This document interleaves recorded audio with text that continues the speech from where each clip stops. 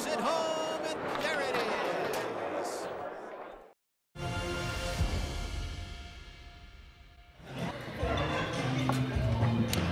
One final match remaining here at the 2015 Texas State Championships, and it ought to be a good one as we again head down to table number one for the open singles final. Tony Spredeman Yeah, right. will start the match on the left side of the table, and on the right, of course, the familiar figure of Ryan Moore. Brad Anderson, always a classic matchup. Seeing it here again at the Texas State Championships. Spredeman coming from the loser's side. Moore won the winners bracket, and Ryan will have the first scoring opportunity here in game number one. Yeah, and over, over the past few years, it's been a, a, a frequent matchup. This may go down like in a, really in the in the history of the game as one of those real legendary rivalries between these guys. I think again overall they probably got a pretty even record. Ryan Moore probably a little bit pulling ahead recently, but both these guys are uh, their games are so evenly matched, and the aggression and the and the uh, confidence that these guys have while they're playing. Uh, again, you look at the stats from the last few years. Uh, tournaments won, singles championships won, and almost every single one of them at a mid-size or larger tournament has been won by one of these two gentlemen. Of course, Todd Loffredo slipped one in, I think, in national championships last year in St. Louis. But other than that, it's been either Ryan Moore or it's been Tony Spredeman.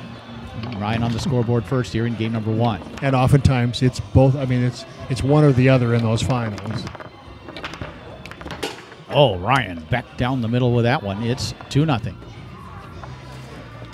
And it is indeed a rivalry. Yes, they're friends. They're former teammates for Team USA, of course, but fierce rivals as well.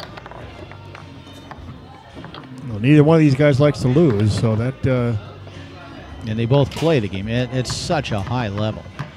And Ryan Moore quickly out of the gate. It's 3 nothing. and apparently Ryan has someplace to go because he's playing at a, a blistering pace here. Well, you talk about the level, the bar that these guys play at. And really, you can count on less than one hand the number of players who ever have played at that level. Obviously, Frederick Collignon, Billy Pappas, I think, of course. Other than that, I'm not sure you're going to find anybody who has played the game, maybe in the history of the sport. At such a high level over over a, an extended period of time. Yeah. You guys got you, you have guys out there you know, on occasions have had hot streaks and have a few tournaments. Uh, you know they get some wins, but these guys have been both these guys as young as they are have been doing it for a long time already.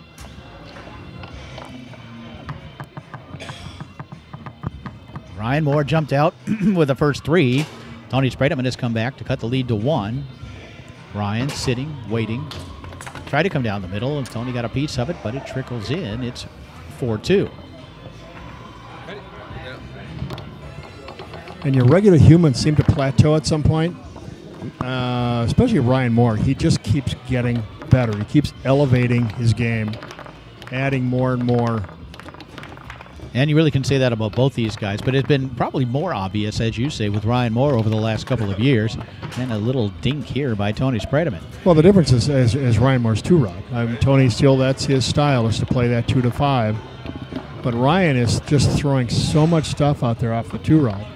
Slingshots. We just saw the little kind of, I don't even know what you want to call it. It's one game to nothing. It's Ryan Moore with a strong effort in this opening game. One game to nothing.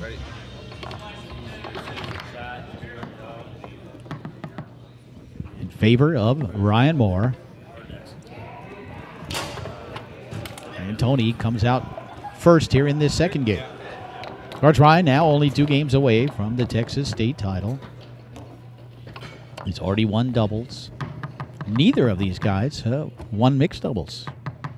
Instead, we had just a classic final earlier today. Ryan Moore was involved in it, but it was the ruse, and probably the best match of the year so far. Amazing match where Ryan Moore scored 15 of his first 16 shots. Played almost perfect, but the ruse came back somehow to win it.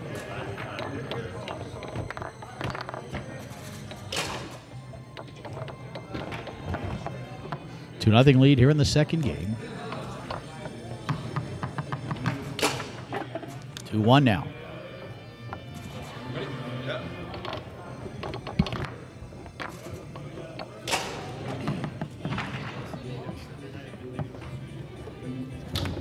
Tony shot up into the air and off the table. And again, the pace of this match so far has been, I mean, really, really fast. Of course, it's the very beginning of what could be an extremely long match if Tony is able to pull out this opening set. But Ryan again from goal. These two faced off at last year's Tornado World Championships, and the thing that did Tony Spredeman in as Ryan won the championship was Ryan's ability to shoot from the two rod. I think he scored seven in the final. Tony able to answer here. It's 3 2. And the other remarkable thing is both of these young men have been playing all weekend, and they still they're maintaining the energy level and um, the power games that, bo- yeah, that both of these guys play. It's, it's, it's incredible.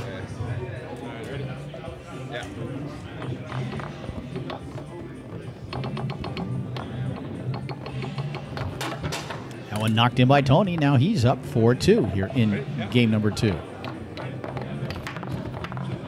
And these both these guys are pulling out the stops too. They're not playing your basic uh, pass and shoot shoot game here. Both of them getting creative, playing a little bit up tempo, freestyling just a bit. And Brian now cutting the lead to one. Of course, they're both so good at that.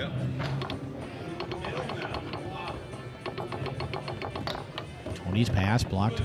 Comes back to Tony in the goal area. Using the left hand off the outside wall, Ryan will step back to retrieve it. And Tony steals it. Looking to even the match up at a game apiece, and he does.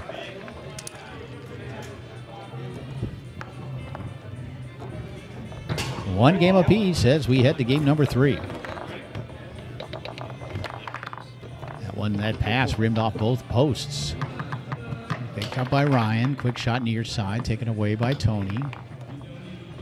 I mean, these guys aren't even- aren't even taking taking time between games. They're just Looking at the slinger and setting up the snake. Flipping. And a little bit of a fortunate effort there as it hit off the man off the wall and went in.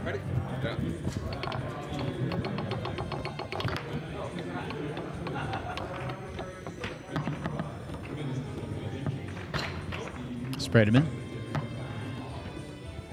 looking to answer. We're tied up at a game apiece in the opening set. It's now 1 1.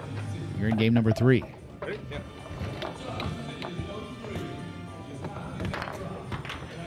Ryan snapping off that wall pass.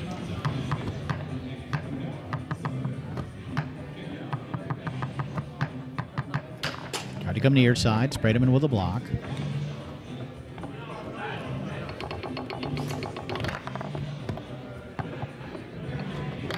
Tony trying to pass near side.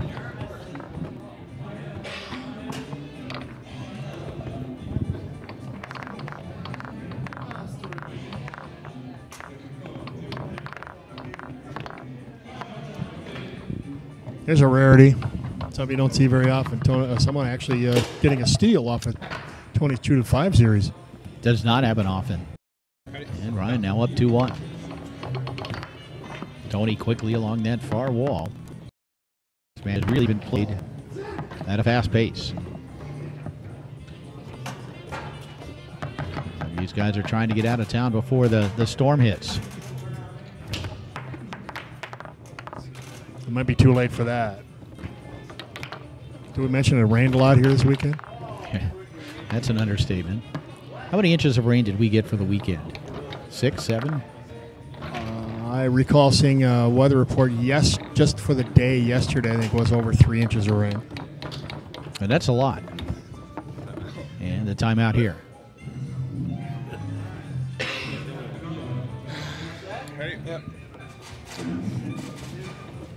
Even the timeouts are short.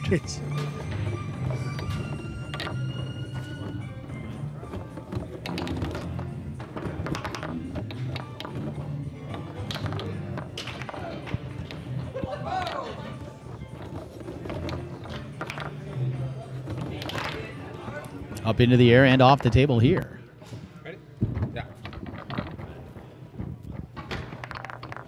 Two one lead for Ryan Moore here in game number three. Tony Again, Ryan doing a good job defensively against the two to the five. Wow, nice shot.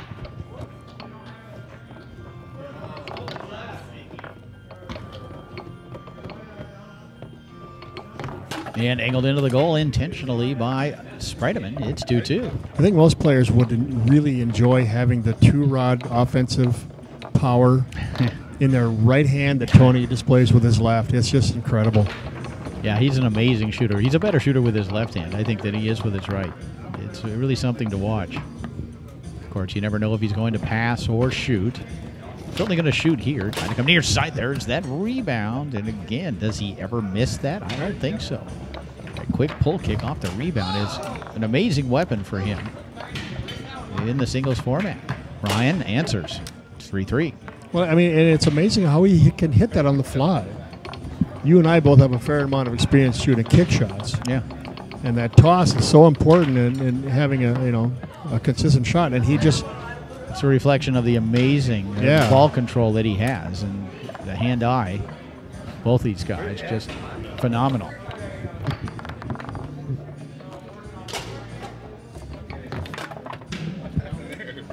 And Spredeman leads two games to one.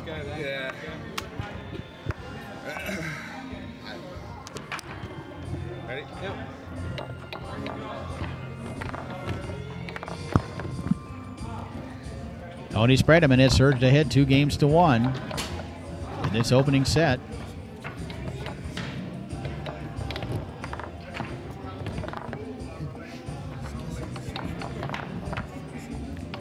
Ryan, I think was looking to knock that off the wall and then slam it in. He is trying it again.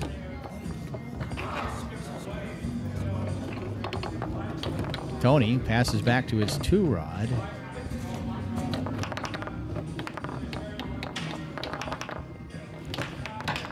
We could cue up the Calliope music here pretty soon.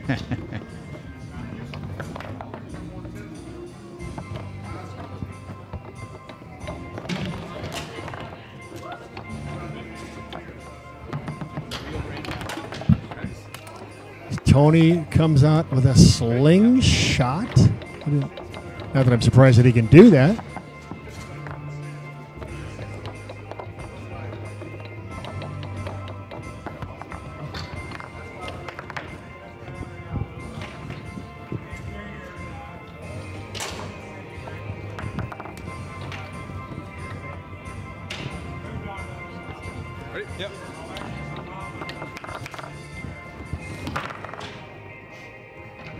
Moore pumped that one on goal. It's 1 0 here in the fourth game. Spredeman leading two games to one.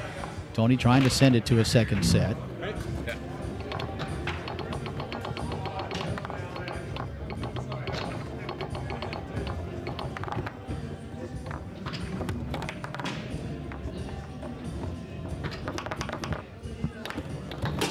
And a beautiful Wow. shot by Moore. Even Tony shaking his head, Wow. going, "Yeah, that was a nice shot."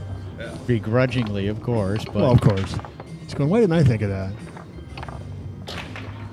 Or Tony's thinking, I could have done that with my left hand.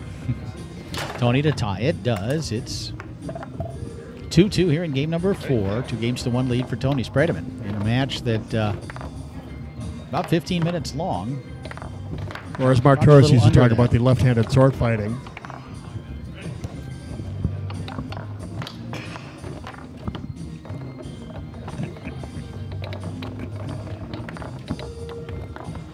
Ryan Engels that one into the goal with a five. Yeah. Tony, quick pass, dink, goes wide. Tony doesn't miss execute that pass to the dink or the pull kick very often. Ryan has really put on a clinic back here with some trick shooting from the two rod. Has scored a couple of beautiful shots. Resetting his time there. Wrapping things up here in Texas. Another outstanding weekend. Steve Murray, David Raddick and company doing a, a great job of running one of America's great events.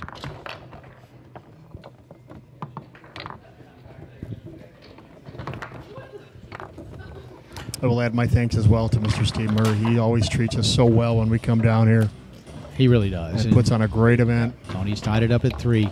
If you get a chance, those of you watching at home, simply watch the two players' hands as they go handle to handle in, in transition as we go along here. It is really something to just watch. They're always in the right place. They know where to go. They get there quickly. And Ryan Moore now surging ahead. Yeah. Kind of makes that widescreen uh, Uh huh. pretty handy to be able to watch all the uh, again the uh, It's set point for Tony Spredeman. the transition game and watch how these guys play.